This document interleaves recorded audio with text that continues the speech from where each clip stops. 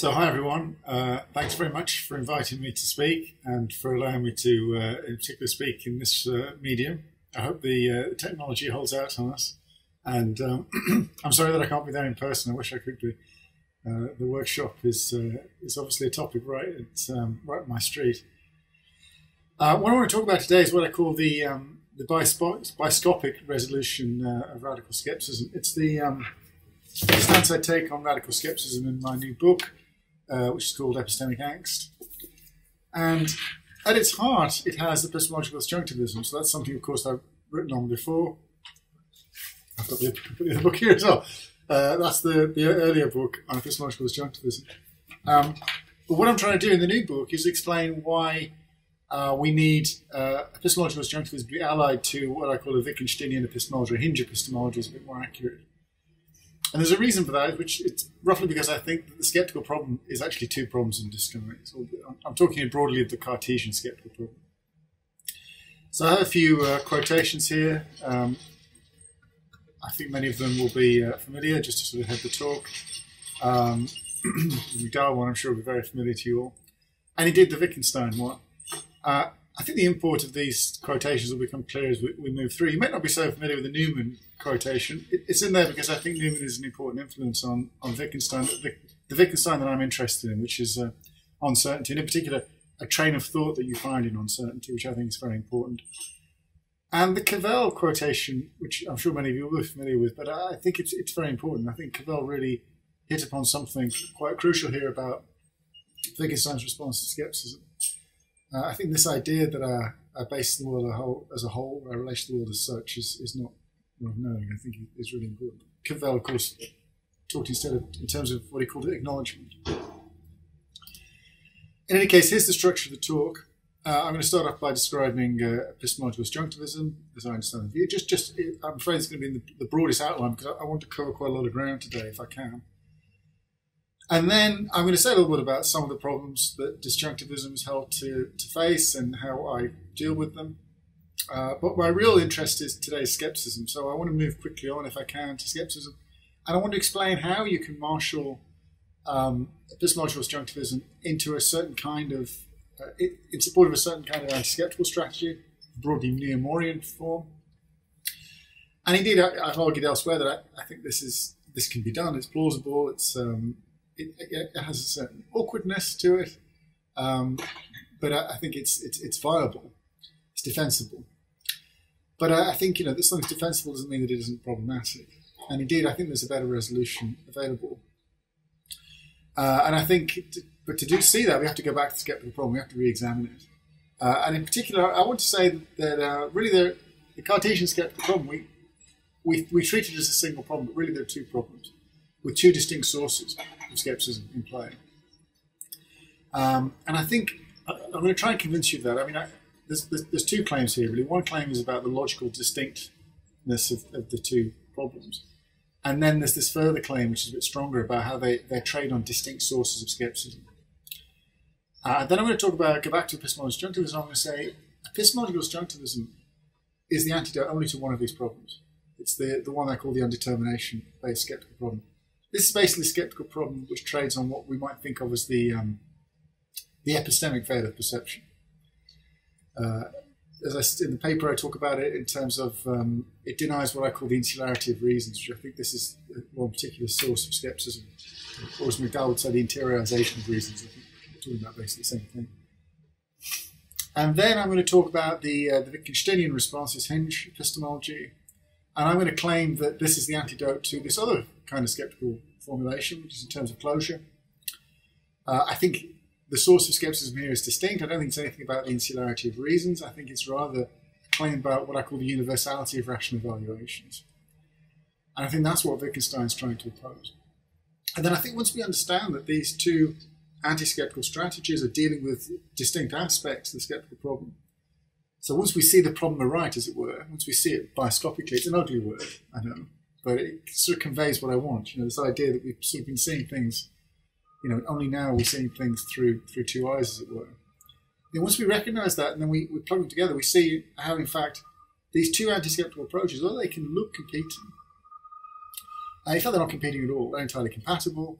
And in fact, more than that, they're, they're mutually supportive and they're entered in the same spirit. And I think when you, when you, when you lock them together in this way, you get this biscopic trim skepticism, which gives us a, more intellectually satisfying way of dealing with the skeptical problem in both of its guises.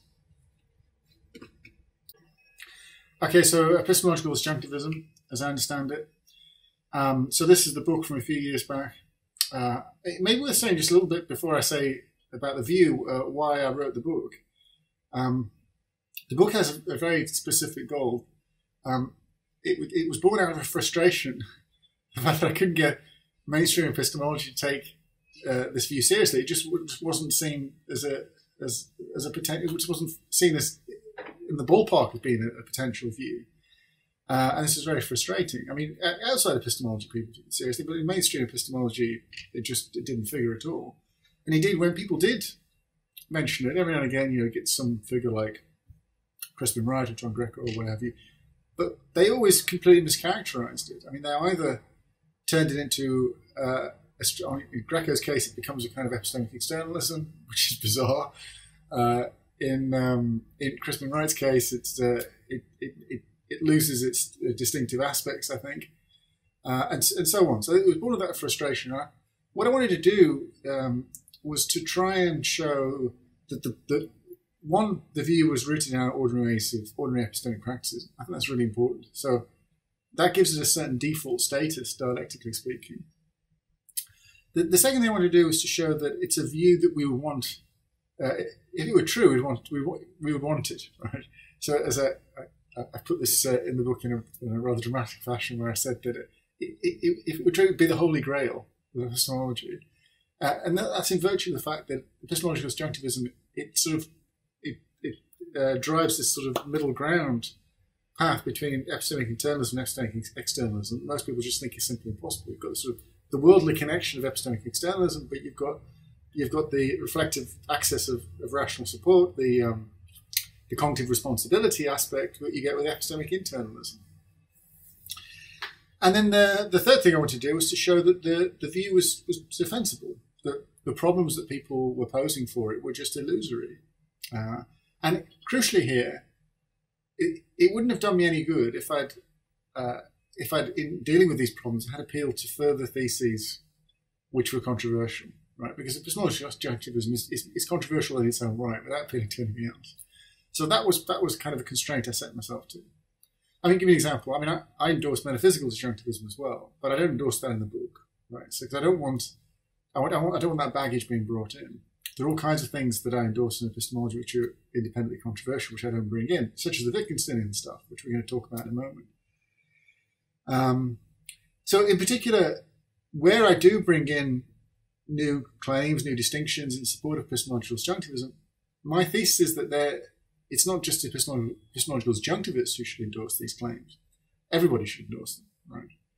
Uh, so this is important. I make a distinction in the book, which received favouring discriminating epistemic support. That's not meant to be. I mean, it's very advantageous to the epistemological disjunctivists, but it's not meant to be something only epistemological disjunctivists can buy into. I think everyone ought to buy into.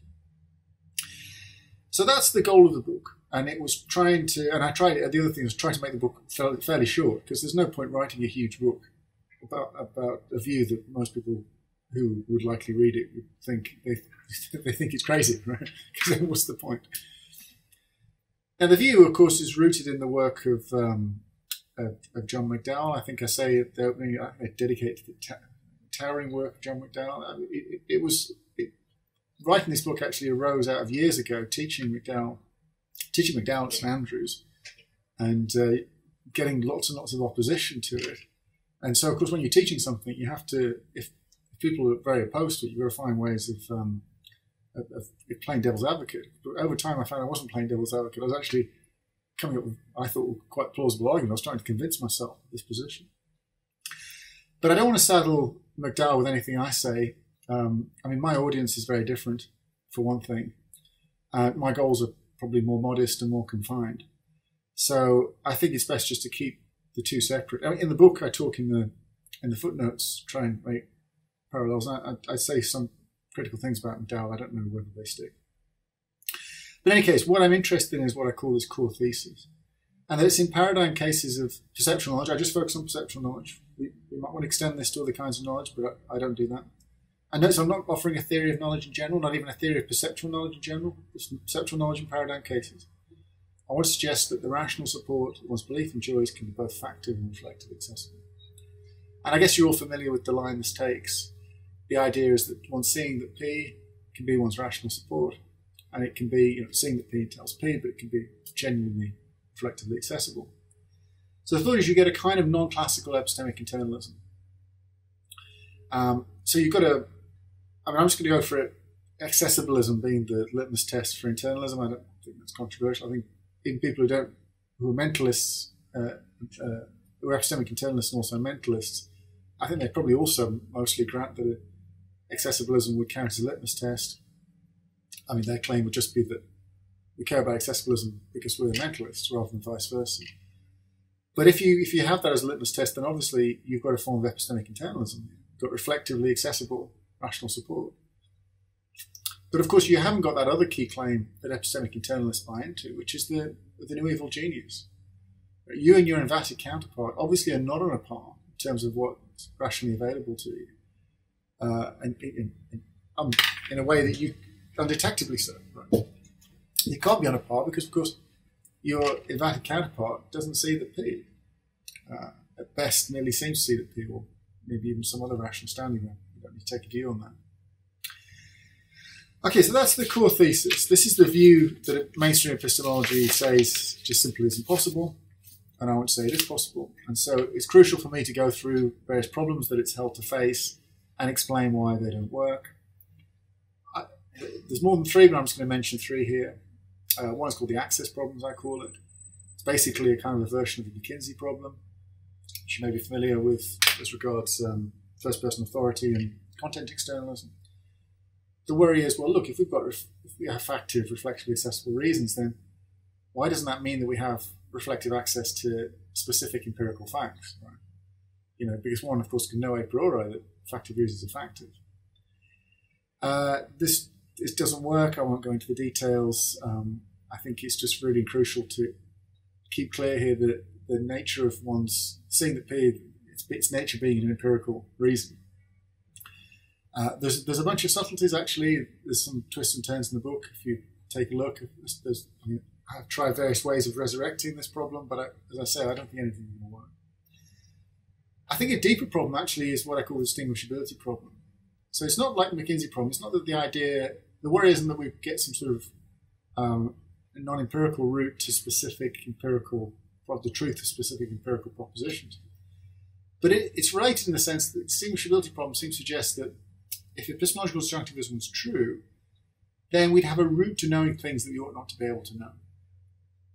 Mean, we can bring this out quite neatly, I think, by comparing sort of uh, good and bad cases. Now, in the book, I give quite a fine grained taxonomy of different kinds of good and bad cases, and I think actually it's, it's important to do that because they, they, they have very different features, some of them, and, and, a lot can hang epistemically on, on those features. But let's just take an extreme case. So, good case, or good plus case, as I call it in the book, that's the paradigm case. And then for a bad case, we'll take a skeptical bad case, you know, like a brain in a vat or something like that. So, really, everything's going wrong in that case. And the thought is, well, look, it's meant to be ex hypothesi that you can't tell the difference between the good and the bad case. But then, how does the, and surely everyone should accept that, you know, epistemological disjunctivists should accept that. Then the worry becomes, well, how does this epistemological disjunctivist then explain the fact that in the good case there's something reflectively available to me, which entails, at least if you do a few inferences anyway, that you're in the good case? Doesn't that mean then you have a route to knowing that you're in the good case rather than the bad case? That is, doesn't it mean that there's something you can know that you ought not to be able to know, i.e., that you're in the good case rather than the bad case? I, I think this is a, I think this is actually probably the the key problem for epistemological disjunctivism, but I think you can evade it. And I think the way to evade it is to recognize a distinction, which I think all epistemologists should buy into.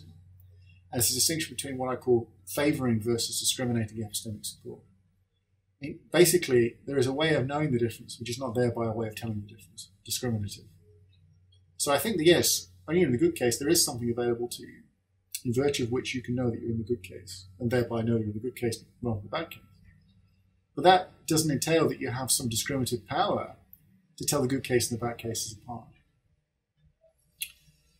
Uh, a third problem is the dialectical problem. I mean, some people might say, well, look, even if you have got factive reasons, can they be the kinds of things that you can use in dialectical contexts, like skeptical contexts, for example? Uh, I, I, claim they are, and I claim, in fact, maybe they're the only kinds of rational support that would be appropriate in those contexts. And there's other issues as well. There's another problem I talk about in the book called the basis problem. Uh, our standard views, knowing, seeing that P is just a way of knowing that P. So isn't it puzzling then that not you're knowing that P can be grounded in your seeing that P? Uh, if that is a problem, it's not a problem from my view because I don't think that seeing that P is a way of knowing that P. That is, I think, more accurately, one can see that P without knowing that P. I think seeing that P objectively puts you in a position to know, but uh, there can be subjective factors that quite properly prevent you from exploiting that position. Uh, I'm not sure actually the basis problem really is a bona fide problem, but if it is, even if it is a problem, it's not a problem for me. Okay, so that's roughly the view, some of the key problems it faces, and roughly why I don't think it faces it. So now what I want to do is move swiftly on to the problem of, of radical skepticism, and in particular to consider how would epistemological disjunctivism respond to that problem if taken in isolation, if we don't wheel in anything else from elsewhere. Okay, so what I'm going to do now is I want to focus on a particular kind of skeptical argument which has been very dominant, a particular formulation of radical skepticism which has been very dominant in contemporary epistemology, and which is what I'm going to call the closure-based formulation of skepticism. It's meant to go be proxy for a broadly, as I say, Cartesian form of skepticism. There's nothing, no appeal to certainty here or anything like that.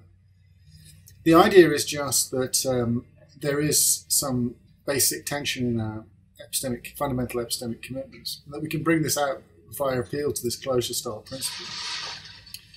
So I'm just going to state it, then I'll make some comments about it. I mean, the, the first claim is just you can't have rationally grounded knowledge of the denials of skeptical hypotheses. I'll follow convention and talk about brains and vats. It's pretty harmless. And then there's this bridging claim, which says, well, if you, have, if you lack that, then you lack uh, rationally grounded knowledge of pick, pick your class of everyday type propositions, the kinds of things that you know if you know anything. And then the, the third claim, which is in tension with the previous two, is to say, well, you, you obviously we do have rationally grounded knowledge of these wide class of E-type claims. A few things to say about this. The first, I, I'm framing it in terms of paradox. I think that's its strongest form. It's very tempting, I think, to think of skepticism as a position, uh, but I, I don't think it's nearly as interesting so formulated. Uh, there is, we need to think that there is a skeptic. I mean, I know there's Pyrrhonian skepticism, but that's a different kind of skepticism anyway. Uh, skepticism as a position uh, is easier to deal with because then the skeptic has commitments of their own, right? We can we can start to unravel those commitments. Skepticism, quite paradox, is just it's a problem which is falling out of our own our own commitments, right? So it's, it's just it's all it's all in here, as it were. And I think it's as a paradox, it's far more troubling. Uh, formulation here notes it's stronger than actually you need it. I mean, I'm going to talk about one cannot have, it does not, would do. I mean, we don't need the, the stronger modality there. But I think it's best just go for it that anyway, because clearly that's what the skeptic's saying. It's not it's not an incidental lack on my part, according to the skeptic, that I don't know that I'm not a brain devout. Right? It's not as if you know, I sort of think I could know if I if I were more attentive, worked harder, that sort of thing, a bit smarter. And I'm going to focus on rationally grounded knowledge. I, in the new book, I talk a lot about this and why really that's what's at issue, and there's nothing to be gained by going for anything less anyway. Um, but you'll just have to take that on trust, I think, because I, I, don't really have time to go into it now. Um, okay, so that's the um, that's skeptical problem. And notice that the first claim and the third claim are meant to be highly intuitive. The second claim, there's nothing meant to be. There's no suggestion that's highly intuitive. It's just a bridging claim. It's just a claim we bring in to bring the first and the third claim into tension. So then the question becomes, well, what would we do to motivate that second claim? So the, the third claim is basically the denial of skepticism qua position. The first claim is basically just a basic epistemic modesty, you know, that how could we possibly know such a thing but we're not brains and vats? Virtue of what would we appeal to?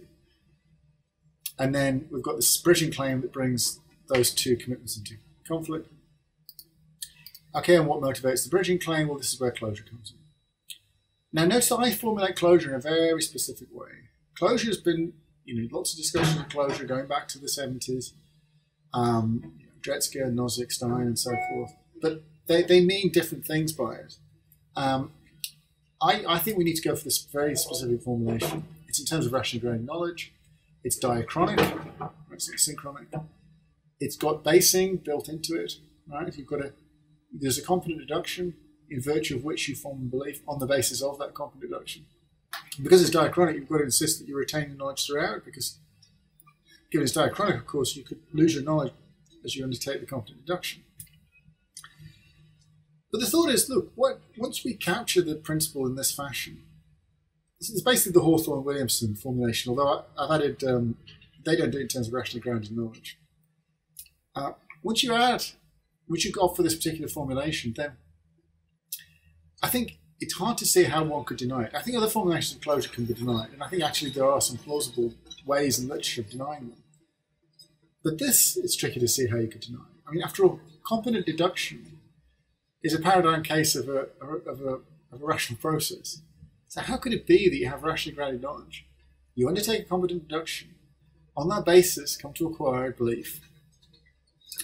Guaranteed to be true, of course. You retain your knowledge throughout. It's based on the competent deduction from your rationally grounded knowledge.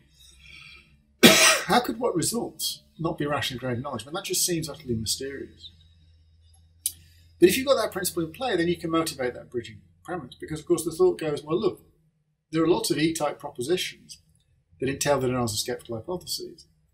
So if, I, if this principle were live, I could use it in order to come to know, have rationally grounded knowledge of the denials of skeptical hypotheses.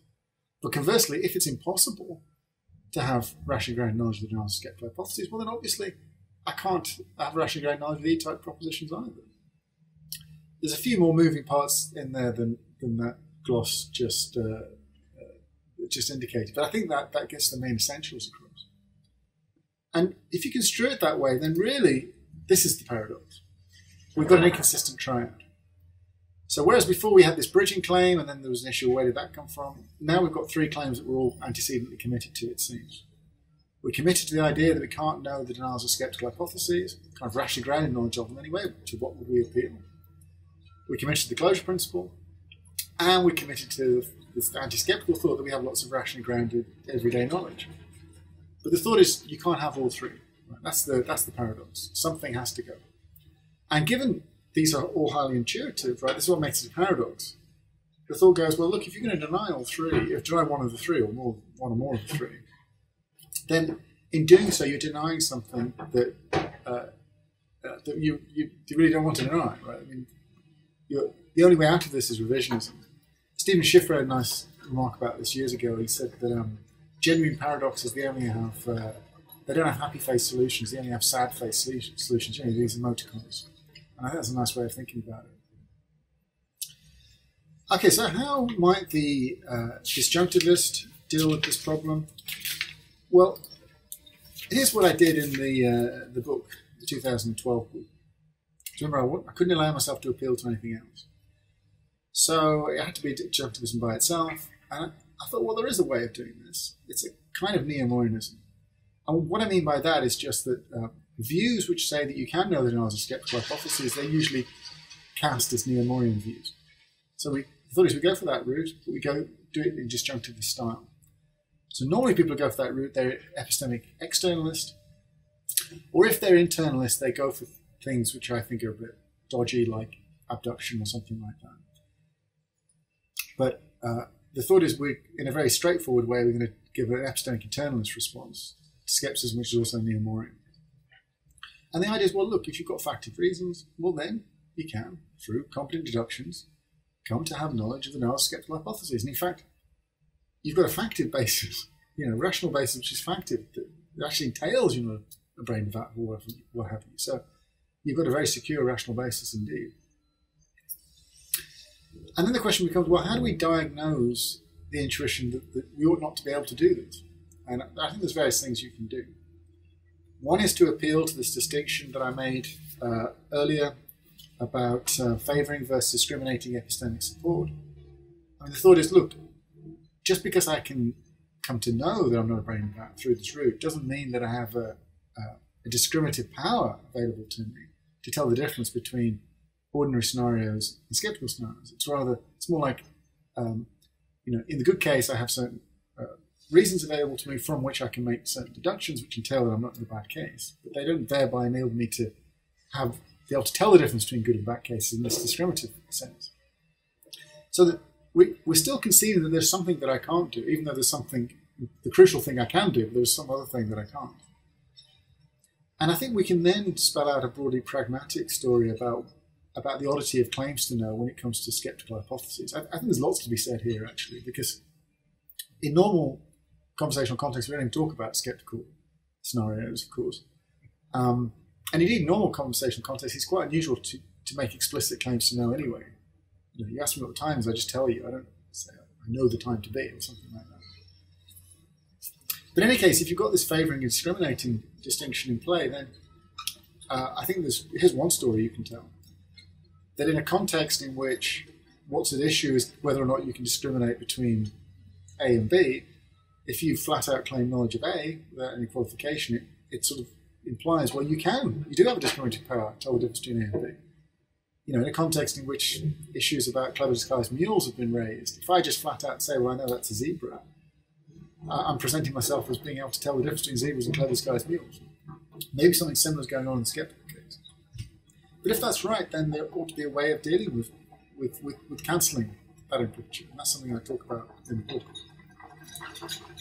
And then finally, I think uh, there are some dialectical issues here. I think people often uh, mischaracterize what the skeptic's dialectical position is. I'm not going to go too much into this, but one key point here is that when skepticism in its strongest form is a paradox, but one consequence of that is that the skeptic, of course, is not making any empirical claims themselves. They have no empirical commitments. And, and I think that, that entails that the the error possibilities they're raising are by their nature rationally motivated. Right? So it's not like normal uh, conversational context where someone raises an error possibility and we can, you know, maybe they don't have a good reason for it, but it's kind of the default is to think, well, if they're raising it, they've got a reason for it. it's not like that with skepticism. By the nature of the problem that's being raised, we can treat the error possibility as not rationally motivated. But I think in that case, factive reasons aren't touched at all. You know, if someone merely raises an error possibility and it's explicit, they have no reasons for it, then I think if you're disjunctivist in the normal case, you can appeal to factive reasons. And I think the same goes even if it's skeptical scenario. So I think we have to get the, the dialectical uh, nature of the debate clear. So I think this is a view that's defensible. I think this story told in its favour. But I do think it's a bit awkward. And um, and the only reason I, I told this bold view was because you know I wanted if I'm going to make epistemology disjunctivism plausible, I've got to say what, give some account of what it's going to what, what it's going to provide for us as regards skepticism. I've got to make that palatable. But of course, part of the the, the the, rules for the book was that I can't bring in anything else, so I have to have disjunctivism doing the problem by itself. I think we can eliminate the awkwardness of the disjunctivist treatment of this problem if we actually re-gear it towards a different aspect of the skeptical problem, and if we don't have it carrying all the skeptical load, all the anti-skeptical load. that is, I want to say, whilst epistemological disjunctivism does give us a way of dealing with skepticism, which is defensible, I think there's a better way of dealing with skepticism available, which which has disjunctivism at its heart, but which also brings in something else. But in order to see that, we need to look a little closer at the, the nature of the skeptical problem. So the first thing we need to do is to look at a, a formulation of radical skepticism that you find in the contemporary literature, but which is often taken as being simply uh, an equivalent or broadly alternative way of um, presenting the problem I just gave, you, the closure-based problem. This is what's known as underdetermination-based skepticism. So the standard line on this, which you get from Brueckner, for example, is that they're, they're essentially equivalent formulations, underdetermination-based skepticism and closure-based skepticism. There's some dissent here, but even where there is dissent, it's not, uh, the, the, the, the, formulations end up being, in the final analysis, equivalent. So take someone like Cohen, for example. Stuart Cohen says uh, that they are logically distinct, but that uh, they, the logical differences were cancel out, so that uh, in fact it doesn't make any difference which one you, focus on. Now, one thing that I've argued in earlier work is in fact they are logically distinct, and what I want to try and convince you of is that they're logically distinct in ways that are dialectically important. Of course, that second claim doesn't follow immediately from the first. I mean, maybe they're logically distinct, but, but it doesn't matter. I, I think it's both they're logically distinct and it matters. So let me just state the uh, the formulation. It looks very similar. I grant you, if you if you if you confront it for the first time, it looks very similar to the closure-based skepticism. So the thought is, you know, one cannot have first claim, one can have a rational base which favours one's belief in the everyday proposition over this incompatible skeptical scenario. So uh, pick an E-type proposition that's incompatible with the BIV scenario. The thought is, well, I can't have a rational basis which favours, which offers more truth conducive support for that proposition over this alternative, right? Because the thought is that you know, the reasons that I have seem to be indifferent between everyday scenarios and skeptical scenarios. I mean, this is basically a statement of the new evil genius intuition that we encountered earlier, and which is built into uh, epistemic internalism. And then we've got our bridging claim again.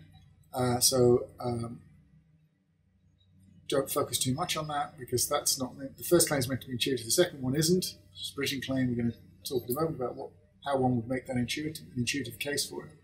And the third claim is just the same as before. You know, one does have lots of rational ground knowledge of the type proposition. Just to say, as before, we, we formulated this modally speaking stronger than we need to. One cannot, does not, would do, but it's it's not important. I think we, we capture more of what's going on by going to the stronger formulation. Okay, so what motivates that bridging claim? Well, uh, it's what's known as underdetermination principle. Where you've got these incompatible scenarios, and if you lack a rational basis for preferring the one over the other, then you lack rational ground knowledge of, of the target proposition. So do this, take an extreme case. So take P and not P. Right. So obviously it's absolutely transparent there that you've got incompatible uh, propositions depicting incompatible scenarios. And suppose you take yourself to have no rational basis whatsoever, which favours P over not P. Then in what sense can you have ground knowledge of P? The thought is, however low the threshold for rational grounded knowledge goes, it better not go so low uh, that it allows that you can have you know no rational basis for P of not and yet still you've got rational grounded knowledge of P. I mean, that, that would be too low. So the thought is, this is, this is meant to be imposing a very minimal constraint on what it is to have rational grounded knowledge. And as such, you make think, well, obviously, it must be the case that you've got uh, rational, when you've got rational grounded knowledge, you've got rational support that meets the underdetermination principle. But of course, once we've got that in play, we can then motivate our bridging claim, right? Because um, if we grant, offense, essentially, we now plug into the antecedent here, everyday scenarios and skeptical scenarios, well, if it's really true, we recognize they're incompatible, we recognize our rational support is indifferent between them, well, then it follows we don't have rational grade knowledge of the everyday propositions. So we end up with um, underdetermination based skepticism. So, really, what we've got is, is a paradox like this. So, just before, really, we should forget about the bridging claim. What's motivating the paradox is really an inconsistent triad. First claim is just some general thesis about how rational support is indifferent between everyday scenarios and skeptical scenarios. Then you've got the underdetermination principle, and then we've got this, this anti-skeptical thesis that we do have lots of rational grounded knowledge. The thought is we can't have all three. They're intentional on them. And that these, all three claims are rooted in our ordinary epistemic commitments. So that this is a genuine paradox. If we're going to get out of this paradox, we have to deny something we really don't want to deny. Okay, let's compare the two arguments. Well, the way this, the easiest way to compare the two arguments is to pick out uh, an analogous conditional in each case that, that's at issue in those arguments. So I call this a simplified simplified closure-based entailment simplified underdetermination-based entailment. So I, I crystallize things down into uh, into what's really at issue here, I think. So I think in the closure case, the relevant entailment that we're interested in is that if you've got rationally grounded knowledge of the E-type proposition, then it follows you've got rationally grounded knowledge of the general skeptical hypotheses. That's what's causing the trouble, right? Because if you think that we, if the if you think the consequence falls, well, then you're committed to denying the antecedent. Underdetermination, I think the condition is rather different. Now, it might not be obvious how I've got this. I've just contraposed on underdetermination, but trust me, it, it's right. Uh, and I've done it this way so that we have a common antecedent, right? because then it, it brings out the, the, logical point I want to make a lot easier. So again, if you've got a rationally grounded knowledge of the E-type proposition, then it follows not that you can know the denials of skeptical hypotheses, but that you have rational support that favours your belief in the everyday proposition over skeptical alternatives. So from common antecedents, we're extracting different consequences. And now the question becomes, well, uh, how do the consequences differ? And I think when you formulate it like this, when you simplify what's going on here, it becomes clear that um, the consequent in, in, the closure case is logically stronger than the consequent in the underdetermination case. And what I mean by that is it entails but it's not entailed by. So if you have knowledge of the denials of skeptical hypotheses, well then, you know, so you've got if you've got knowledge of E, you've got rationally grounded knowledge of, not BIV, well then obviously you must have reasons which favour E over BIV. But the converse doesn't hold. You know, that you've got better reason for E over BIV doesn't mean you have a reason sufficient for rationally grounded knowledge that not BIV. Right? Oh, it's a stronger claim. Now, I think that's a pretty straightforward point. Um, and like I said, it's a point that I made some time ago. So I think it, we're, wrong to think that they, these arguments are logically on a par, even logically on a par once it all pans out, you know, once we take other things into consideration. I think, no, they're different. Uh, underdetermination is the weaker principle here. It's less demanding principle. But of course, that doesn't entail that anything of interest follows as regards our treatment of radical skepticism. I mean, it, it may be, for example, that uh, the way we deal with these problems is not to deny. I mean, if we were denying underdetermination, then maybe we should be suspicious of closure, right, given what I've just said. But if our way of dealing with underdetermination is not to deny the underdetermination principle, well, that, it might be that what we say about underdetermination, the problem, might have no bearing at all about what we'd say about the, the closure-based skeptical problem. So I think we still need to dig a little bit deeper. And I, I would suggest that what's going on here is that these two formulations of skepticism, it's not just they're logically distinct, but I think they're trading on what I call distinct sources of skepticism. So I think there are like interesting claims in the background here which are motivating the skepticism, which I, I think we need to bring to the fore. the first is what I call the universality of rational evaluation. I think this is what you get, what's, what's driving closure-based um, formulations of skepticism. I take it to the idea that there's no in principle constraints on rational evaluation. So the thought is we can, as it were, shift our scope of rational evaluations at will. We can go from sort of localized rational evaluations to global ones, and there's, there's nothing, there's no principle bar to it. I think this is driving closure-based skepticism because that's exactly what's happening. Right? Closure normally isn't problematic. When does it become problematic? Well, it's when we go from making local um, rational evaluations, suddenly bringing in skeptical hypotheses and so forth, and now suddenly making these global rational evaluations. And closure makes, these closure inferences makes that transition look harmless. But for it to be harmless is, presupposes the universality of rational evaluation. Maybe it's not harmless. Maybe there are in principle constraints here. The second claim, which I think underlies underdetermination-based skepticism, is what I call the insularity of reasons, although maybe going back to that McDowell quote, we should call the interiorization of reasons. It's roughly the same thing. It's broadly the, um, what I think of the epistemic veil of perception. So there's a metaphysical veil of perception as well, but I think this is, this is specifically epistemic. It's this idea that even in the best case, uh, the rational support we have is always going to be compatible with widespread in our beliefs.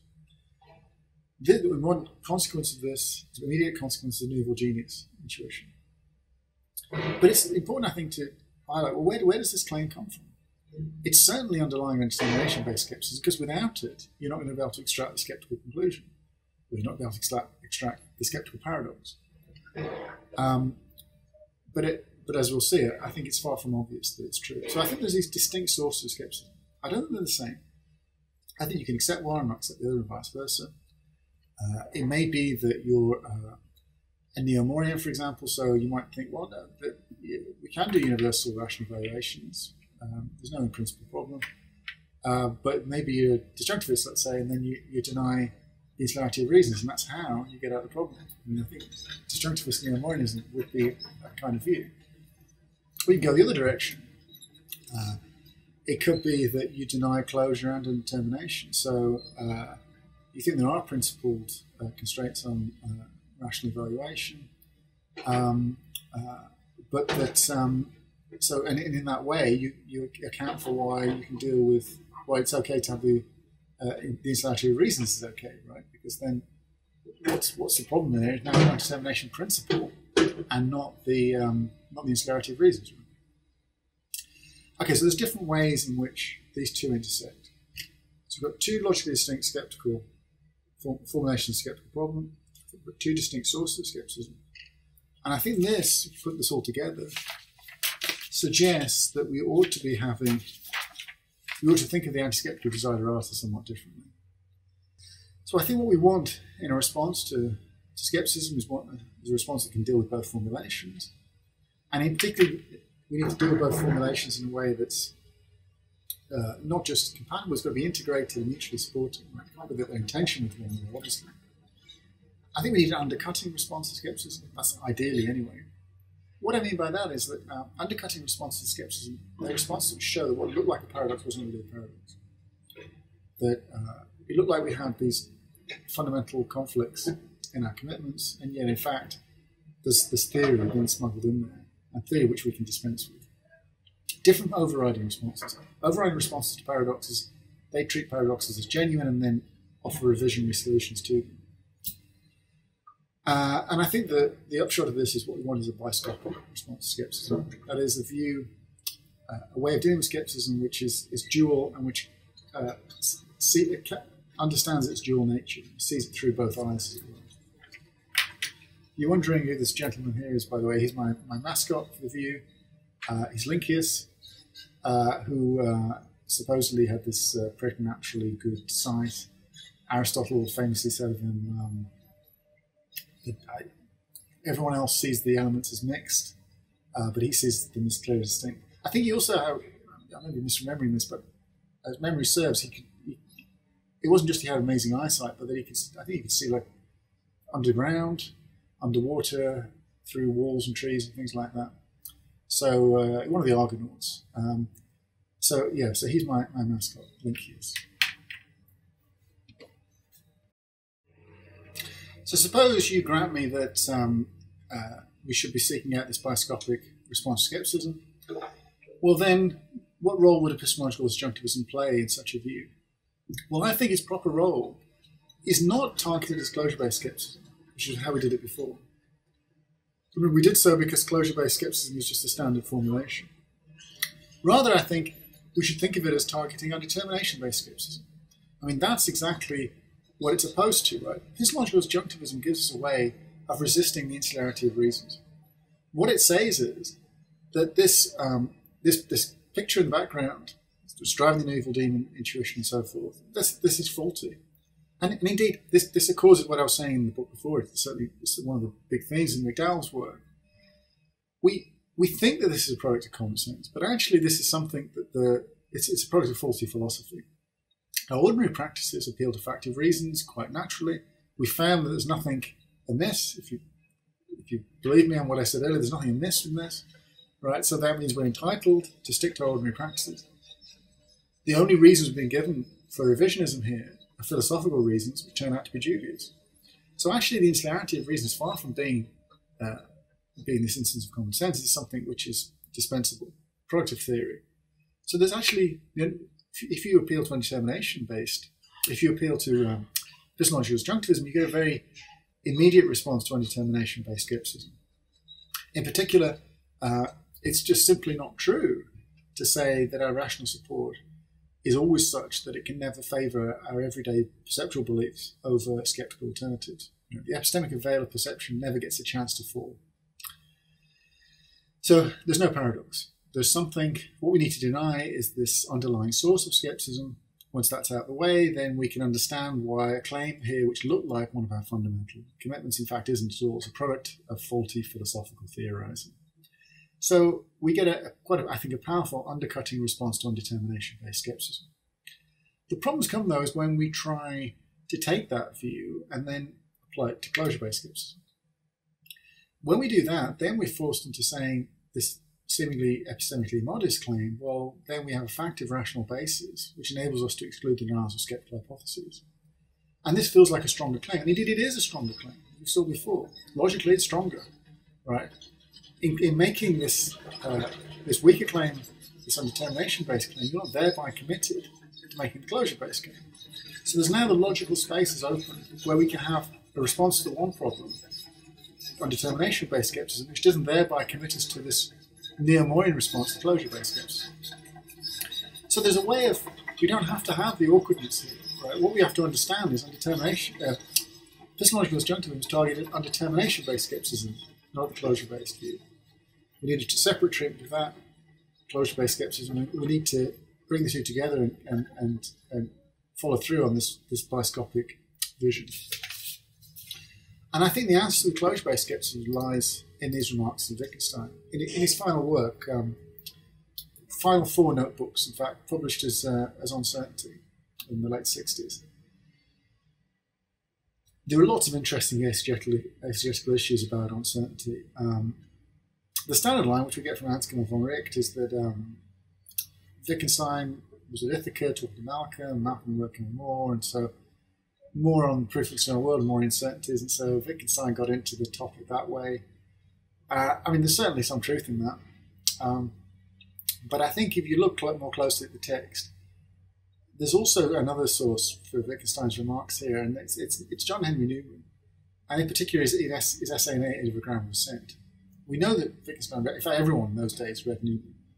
Um, and yeah, uh, Wittgenstein even mentions Newman at one point. Wittgenstein hardly ever mentions anyone. But he, he even uses some of the examples and that, that, Newman uses.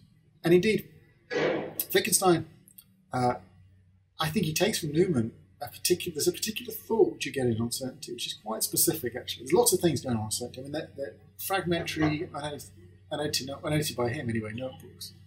Right. So you know, there's no. We're not going to get a canonical treatment of what's going on in On Certainty. I mean, not least because I think the first notebook is about something different to the other three, but maybe we won't get into that. It's, it's about Moore's proof of external world. It's about idealism rather than so much about the Moorean uncertainty. But the, the train of thought, anyway, that's interesting, which I think is peculiar to On Certainty, is this idea about the uh, what I'm going to call the structure of rational evaluation, and the idea basically that rational evaluations, by their nature, are essentially local. This idea is a new.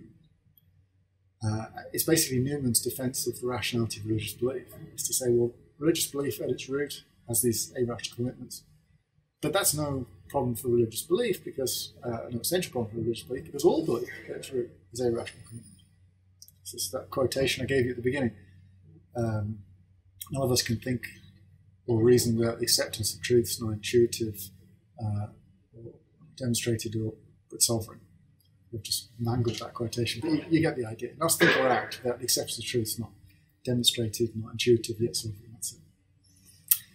Um, and I think this is the idea that Wittgenstein's running with in On Certainty and trying to unpack. He's trying to work out why does this idea not, why does it not collapse into skepticism on the one hand, and why does it not collapse into some kind of epistemic relativism, some kind of epistemic incommensurability on the other hand. So what we get in Wittgenstein is this thought that all rational evaluation takes place relative to these fundamental convictions, these certainties, these basic certainties, hinge commitments, as I'm going to call them. And they themselves are immune to rational evaluation. Right? Crucially, whether positive or negative. So you can't you can't rationally doubt them, you can't give rational belief in either. Have reasons for or against them. Wittgenstein wants to say that rational evaluation is essentially local, in the sense that we could make no sense of the idea that there could be a fully general rational evaluation, a rational evaluation which took place but not relative to any of these hinge commitments. He thinks the hinge commitments have to be in place in order for there to be rational evaluation. I think that's just what rational evaluation is. Right? So that there's no option of there being fully general rational evaluations. It's just incoherent. And he thinks this is what this is the picture we've got to shake. So this should remind you now of the universality of rational evaluation, thesis I mentioned earlier. Wittgenstein wants to say these basic commitments, these hinge commitments, they're animal, they're visceral, they're not the product of, says, ratiocination. Uh, they're acquired via rational processes. They're not directly responsive to rational considerations either. Uh, they're, they're, indirectly uh, responsive. I'll explain why what I mean by that later. And they're not optional. we can make no sense of a subject that lacks. It's not as if it's um, you know, it's not an incidental lack on our part that we, you know, it's not that we, uh, it's a lack of um, thoroughgoingness or something like that on our part that we have these these hinge commitments. Rather, that's essentially he tells us a developmental story how one comes comes to be the kind of person that can make moves in the space of reasons at all is to is by acquiring these basic commitments. So that's the that's the basic idea. Let me give you some quotations. I'm going to have to move quickly through through this, but I just want to say enough, hopefully, to give you a flavour of the view. So, couple of passages here. I've, I've taken them in reverse order, uh, but I think they work better this way. My having two hands is a normal circumstance the same anything I can produce in evidence for. It. That's why I'm not in a position to take my hands as evidence for it. If a blind man were to ask me if he got two hands, I should not make sure by looking. If I have any doubt of it, I don't know why I should trust my eyes. Why shouldn't I test my eyes by looking to find out whether I see my two hands? What is to be tested by what? Wittgenstein is obviously referencing Moore here. Moore's famous remarks about his hands.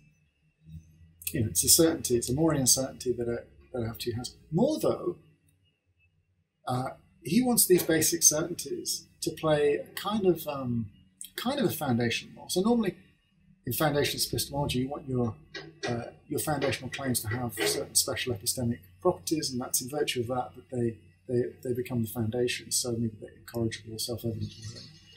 Moore wants to focus on the certainty that we attach to these uh, these propositions.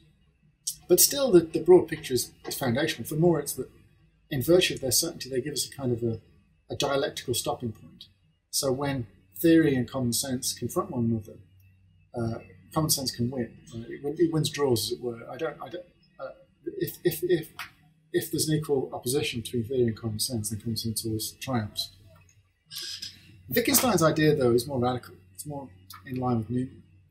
He wants to invert this foundations picture. He wants to say, look, in virtue of these commitments having this special kind of certainty, we can make no sense of them being rationally evaluated or positively or negatively. And that's what's going on in these passages here. You know, if we do have this overarching certainty we've got hands, well then uh, any any grounds that's offered for doubting it will itself be more dubitable, right? Um, and relatedly, you know, what that means is that we we're going to evaluate other kinds of things that we, we believe in, in, terms of whether or not they accord with this basic commitment that we've got hands. Right, so we can't make sense of grounds for or against. In terms of, uh, someone's asked you if you've got have you got hands, it makes sense to say, well, hang on, I'll have a look. Right? And that's not just because proprioceptive uh, powers that we have, but it's just the very uh, the, the commitment isn't like that. It's not a grounded commitment at all. It's important that this is both it's both rational, it's both positive and negative rational evaluations that are excluded here. Because the negative point gets made quite quite often that there's something incoherent about uh, doubt of that of which we're most certain, uh, rational doubt of that which we're most certain. But Wittgenstein wants to say that he wants to flip this on his head and say, well, by the same token, there's something incoherent with the, the idea of rational belief in that which we're most certain as well. So the thought is both skepticism and traditional anti-skepticism are both trading on a false picture, picture on which fully general rational evaluations are even possible. Another couple of quotations. If you try to doubt everything, you will not get as far as doubting anything. The game of doubting itself presupposes certainty. It's quite clear that Wittgenstein would also say the game of believing, or from reasons uh, itself being a rational subject presupposes certainty. Uh, and then a very famous uh, passage. Questions that we raise and our doubts depend upon the fact that some propositions are exempt from doubt, or as it were, like hinges on which those turn. That is to say, it belongs to the logic of our scientific investigations, certain things are indeed not doubted. But isn't the situations like this, we just can't invest everything, investigate everything, and for that reason we're forced to rest content with assumption. If I want the door to turn, the hinges must stay put few things to say about this. This is where we get the hinge metaphor from. It's not the only metaphor he uses. It's the one people have latched onto. There may be, I think, what Wittgenstein means by the hinge metaphor is just the idea of something holding fast in to enable something else. There is an aspect of the hinge metaphor, though, I think has misled some people. Like Michael Williams leaps to mind here, for example, uh, whereby people say things like, well, the thing about hinges is that you can sort of move them at will, right? So Williams makes remarks like this. You, you've got a door, you can change the hinges and the door will open in different ways, as if the hinges are kind of optional. Right? It's up to you where your hinges are. Wittgenstein absolutely does not mean that. Hinges for him are not optional. They're primitive, they're visceral, they're animal. They're not the sorts of things that fall under the realm of reason, not the sort of things that you can change at will. So we're going to be careful with the hinge metaphor. Uh, the other thing to say about this, um, I'm going to talk about hinge commitments rather than hinge, most people talk about hinge propositions. That's what Wittgenstein talks about. But I think that is apt to mislead because it gets us to focus on a particular content. But really, what we're interested in is the distinctive attitude that we take into that content. That's what's operative. So we should focus on the commitment. And the other thing is this point about logic. I mean, Wittgenstein makes this point again and again. Uh, it's not just a contingent feature of our rational practices that's like this. Uh, there could not be rational practices which don't have hinge commitments in play.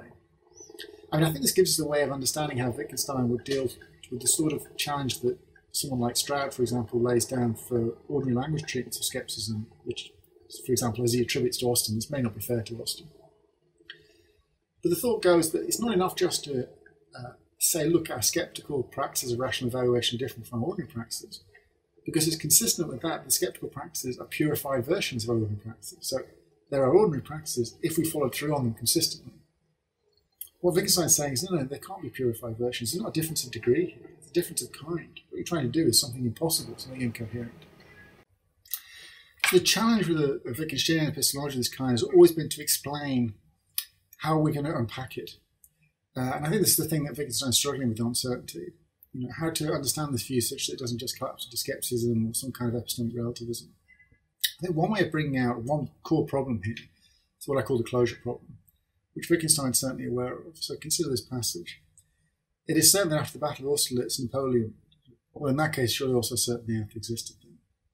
What's going on here? Well, the thought on this view is that we've got our ordinary beliefs, which are rationally held, and then there's these basic commitments, which, which are by their nature irrational. The problem is, of course, that the, the ordinary beliefs and the hinge commitments, the propositions at issue there, they can stand in logical relations to one another. So, what's to stop me then from drawing out logical connections between them? And if I do so, well, doesn't that mean that I can thereby acquire a rational basis for the hinge commitments, right? So, you know, think about this case here with Austerlitz, right? So you've got an ordinary historical claim, rationally grounded in a localized fashion. Well, then surely if it follows that the universe didn't come into existence a few moments ago, right, replete with the traces of a distant ancestry, this is the Russellian hypothesis uh, so surely then I've got a rational basis for that, right? Um, but that doesn't seem right. It seems like my commitment to the denial of that skeptical scenario is a hinge commitment. It's not the sort of thing that's rationally grounded. So what's to prevent that then? Um, what's the Wittgensteinian to stay, say here? Well, one response might be well, they deny closure. And if you, you might think, well, look, they're denying the universality of rational evaluation, then they deny closure. But closure is a pretty compelling principle, as we saw earlier. And uh, so that I think there's something dubious about the view if it had that consequence. And indeed, I think once we unpack the view correctly, uh, it doesn't have that consequence. Uh, but I think struggling in struggling with this problem, whether, whether they're explicitly aware of it or not, a lot of commentators have got themselves into uh, quite implausible renderings of the of Wittgensteinian epistemology. So here's my view in a nutshell. I think if we take seriously the nature of these hinge commitments, then, then they're no longer plausible candidates for being uh, beliefs in the sense that epistemologists are interested. Now, I'm not being legislative here. People use notion of belief in all kinds of different ways. Uh, I want to focus in on a particular propositional attitude, which is uh, the one I think which is of interest to epistemologists. It's belief qua uh, the propositional attitude that's a constituent part of rationally grounded knowing. Now, I think that that notion of belief, chaos believing, or whatever, if you like, that bears some essential connections to reasons and truth. That is, in particular, it's not the kind of uh, propositional attitude which would remain even if one recognized one has no reason at all for thinking the target proposition is true. Right? I mean, that just that, that, this is basic to Bernard Williams' point about the nature of belief in this sense. But of course, if, if we take seriously what was what Wittgenstein's saying about commitments, that's precisely the nature of the propositional attitude in play. Right? Uh, it's not it's not a propositional attitude that's responsive to rational considerations in that sense at all. But I think if you take that view seriously, well, then it's not a belief. It's not. It's whatever it is. It's not in the market for knowing.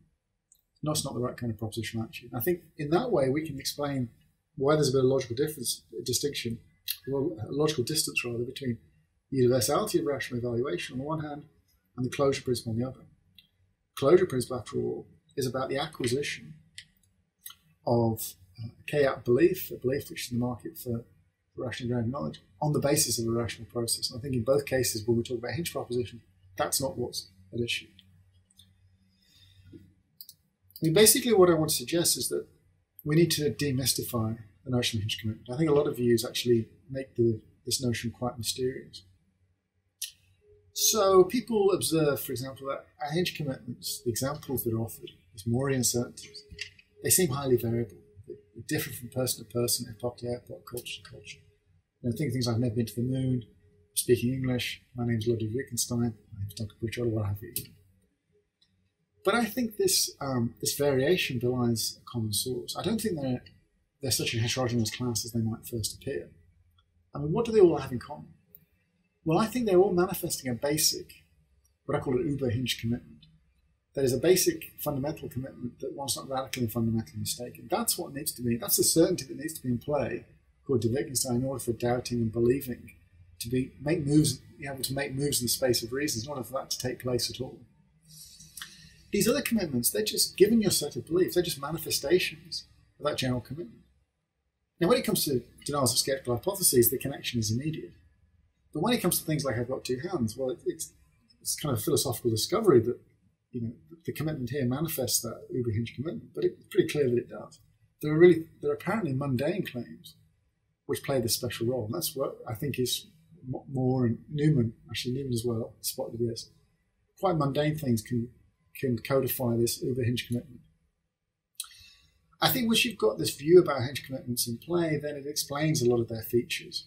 Uh, that they're only indirectly responsive to rational consideration. So let's take that. What do I mean by indirectly? So the uber hinge is never responsive to rational consideration. I mean, that's that's the Wittgensteinian point is that it just has to be in play. But of course, other ones might be um, that one has never been to the moon. You know, over time, one's sets of beliefs can change as one's beliefs change. It may be that one doesn't codify one's uber hinge commitment anymore via a commitment to that kind of proposition, a hinge commitment to that proposition. And of course, the way your beliefs are changing could be a rational process. So this is the sense in which one's hinge, one's personal hinge commitments, these localized ones, could over time be responsive to rational considerations. They're not directly responsive. Someone can confront your hinge commitments with opposing reasons, or if they can do so, it would be pointless. It captures the idea of them as visceral and non-optional, right? Because it's what's visceral and non-optional is your commitment to the Uber hinge. And the idea that that's necessarily groundless as well. I mean, how would one go about rationally offering reasons in support of that commitment? Uh, that is incompatible with agnosticism about the target proposition. So, certain views uh, about hinges I'm thinking here particularly of Crispin Wright's entitlement type view, they get themselves into a tangle because they start to deal in propositional attitudes, trustings, uh, acceptings, or what have you, uh, which, which are compatible with agnosticism about the target proposition. But of course, it's precisely the nature of hinge commitment that it, it, it isn't compatible with that kind of agnosticism. And the reason they get into this is because they recognize that, uh, on the one hand, you've got considerations which say that it's okay to believe these propositions, but you've also recognized that there's no reason to think that what you believe is true. How to square those two? Well, you have to think about a different propositional attitude rather than believe. Uh, but in doing so, they end up with a propositional attitude that has the wrong features. It's not the kind of propositional attitude that's involved in our hinge commitment. Anyway, once we've got that view in play, we can explain why uh, our hinge commitments, they're not acquired by rational processes. They're the kind of things that have to be in play in order for one to undertake, engage in these uh, rational processes. Um, much less are they they believings. It's a, it's a different kind. They're not aliefs, by the way. Either in that case, you're wondering that. I mean, I think there, there's a distinctive propositional attitude in play here. There's a lot more to be said about this, but I, I realise that I've spoken quite a while, so let me zoom ahead. So here's the idea. How do we apply this to the skeptical problem? Well, the thought is that um, we don't need to know closure. Closure is just simply inapplicable. right? Because closure, the antecedent of closure is not met. Because the antecedent closure demands that through a rational process one acquires a belief, which is the market for knowledge, in a hinge commitment. Right? That's if you're going to create the skeptical problem out of closure, that's what you need to do. But of course, that you can't do that because you won't satisfy the antecedent. So actually, there's no paradox. We can all three claims in the paradox are fine. They're not intentional one another. Uh, at least they're not intentional another, so long as we get rid of the universality of rational evaluation. That's the joker in the pack. That's the theoretical claim, the dubious claim that we need to, to eject here. Like epistemological disjunctivism is an undercutting anti-skeptical strategy. Uh, there is no paradox. It's, it's a fake. It's trading on theoretical claims are dispensable. But interestingly, I think if you try and apply this view to underdetermination-based skepticism, you just don't make any progress at all. I think one of the problems with Michael Williams' book Unnatural Doubts, which I think is a wonderful book, is that because he runs closure and determination-based problems together, he, he, it, it, it, you, can't, you can't deal with both. I think his, his views ends up being pulled asunder as a result. Um, I mean, think about it this way: look, that all rational evaluation is essentially local doesn't tell us anything at all about the insularity of reasons. Maybe reasons uh, are insular and rational evaluations are local. There's nothing to prevent that. Um, I mean, if you know Michael Williams' book, he ends up having to say that if this, this, these claims about priority fall out of the Wittgensteinian view, but I just don't think there's anything in there of that, that nature. Okay, so um, so now we get to the, the biscopic proposal. So we've seen that underdetermination-based radical skepticism, closure-based radical skepticism are logically distinct, they're trade on distinct sources of skepticism. So there's no inherent reason why we should expect a common solution. Uh, and indeed, we think you know, two distinct solutions could be proposed as long as we can we can make sure that they, they fit one another appropriately. And now I just want to close by saying, well, I think um, the Wittgensteinian treatment of skepticism and, and epistemological disjunctivism, they fit together beautifully. I think that they're not just compatible, mutually supporting, and in the same spirit. Let's take these claims in turn. They look competing, but I think that's because we, we forget their features. So it looks like epistemological disjunctivism is competing with the. Because at the first blush, it looks like it's like a general thesis, but it isn't. It's just a thesis about a particular kind of knowledge. You know, knowledge in paradigm case, in this case, perceptual cases. Equally, you know, the Wittgensteinian view can look competing, but that's because we forget it's only really about the structured rational evaluation. It doesn't tell us anything about whether reasons are local or not. I mean, uh, in contrast to Williams, I think you've got to bring in additional claims, dubious claims, to extract this further moral from the Wittgensteinian Wittgensteinians. So they're compatible. Uh, they're also mutually supporting. You know, it's easier to live with the Wittgensteinian stance about the, the central locality of rational evaluation if some of your rational support is factored. And equally, it's easier to live with the idea that rational support is factored uh, in paradigm cases if you don't have the universality of rational evaluation thesis in play, because then you're not committed to the epistemic immodesty right? You don't have to follow through and say, well, therefore, I can have factually, rationally grounded knowledge of, of hinge claims. And then, crucially, they're both in the same spirit. They're both trying to show that they're, what, what looks like a, a paradox is, in fact, a dubious. It's trading on uh, theoretical claims are dispensable. So, I think when you put all this together, we get ourselves a unified biscopic treatment of problem radical skepticism. The thought is that epistemological disjunctivism takes us so far. It deals with one aspect of the problem. But once we bring the Wittgensteinian and Hinge epistemology and we fuse them together, then we get a really philosophically satisfying treatment of this problem.